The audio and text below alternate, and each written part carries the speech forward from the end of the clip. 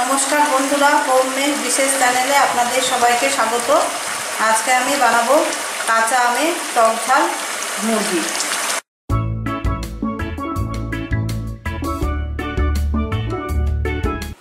গরমকাল মানেই কাঁচা আমের ছড়াছড়ি। এই কাঁচা আমের টক ঝাল মুরগির মাংসটা স্বাদে সামান্য টক ঝাল ঠিকই, তবে গরমে এটা পেট ঠান্ডা রাখে। এর জন্য লাগবে আমার মাংস, আমার পাঁচশো গ্রাম মাংস রয়েছে, একটা কাঁচা আম, এইরকম সাইজের একটা কাঁচা আম আমি কুড়িয়ে নিয়েছি।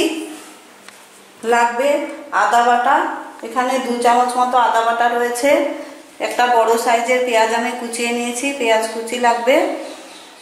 রসুন বাটা রয়েছে দু চামচ, এক চিমটে চিনি লাগবে।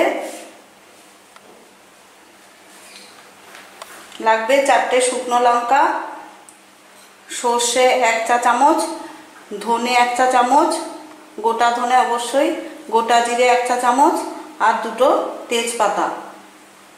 রান্নাটা হবে সর্ষের তেলে আর লাগবে লবণ আর হলুদ। মাংসটা আমি প্রথমে ম্যারিনেট করব। ম্যারিনেট করার জন্য আমি প্রথমে একটা থালায় মাংসটা নিলাম। কুড়িয়ে রাখা গোটা আমটা দিয়ে দিলাম।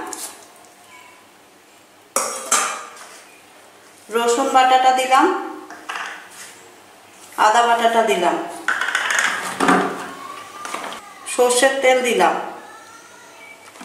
ভালো করে এটা মাখিয়ে আমি আধ ঘণ্টা মতো ম্যারিনেট করে নেব।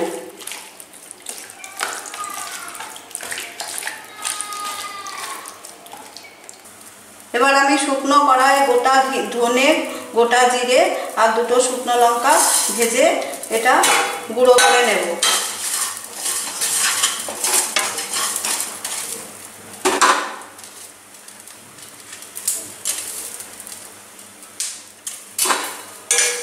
বাকি দুটো শুকনো লঙ্কা আমি ফোড়নে দেব।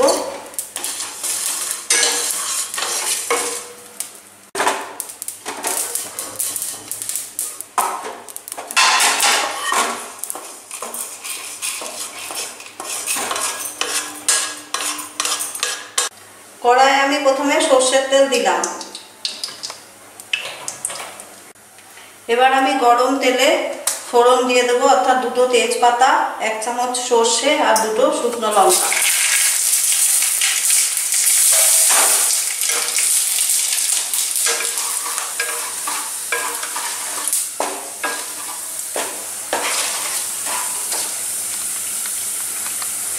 ফোড়নটা ভাজা হয়ে গেছে, এবার আমি এতে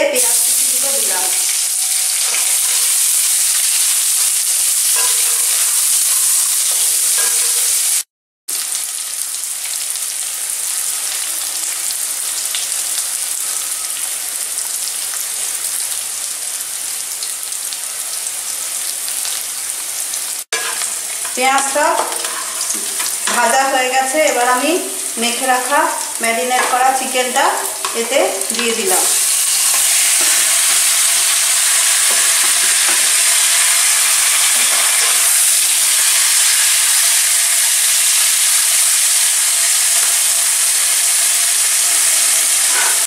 আমি পাশের গ্যাসটায় মাংসে যে পরিমাণ জল লাগবে, সেই জলটা একটা হাঁড়িতে বসালাম।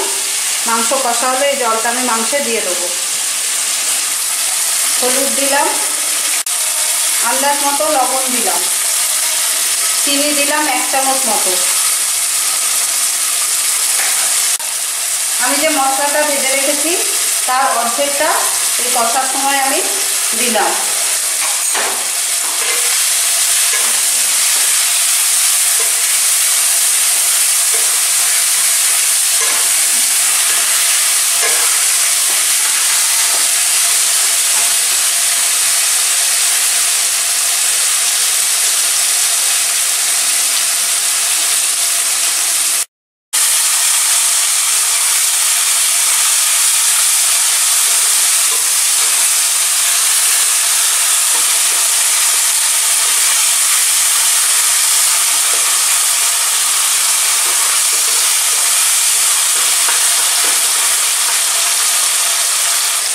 মাংসটা সুন্দরভাবে কষা হয়ে গেছে, মাংস থেকে তেল বেরিয়েছে।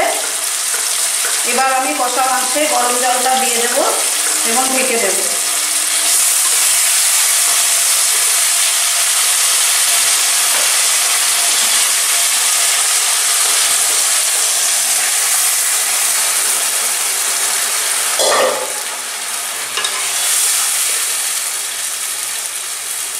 কড়াইটা আমি ঢেকে দিলাম আমার মাংস রান্না হয়ে গেছে। এবার আমি বাকি ভাজা মশলাটা এর মধ্যে দিয়ে দিলাম। ভালো করে মিশিয়ে নিলাম।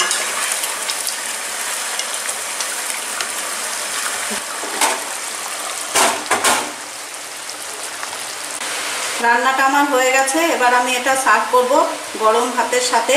টক টক, ঝাল ঝাল এই মুরগির মাংসটা খেতে খুব ভালো লাগে। অল্প তেল মশলায় রান্না হলে এটা শরীরের পক্ষেও খুব ভালো। এই রান্নাটা আপনারা অবশ্যই ট্রাই করে দেখবেন। ভিডিওটা ভালো লাগলে লাইক আর শেয়ার করবেন। আর অবশ্যই চ্যানেলটা সাবস্ক্রাইব করবেন। নমস্কার।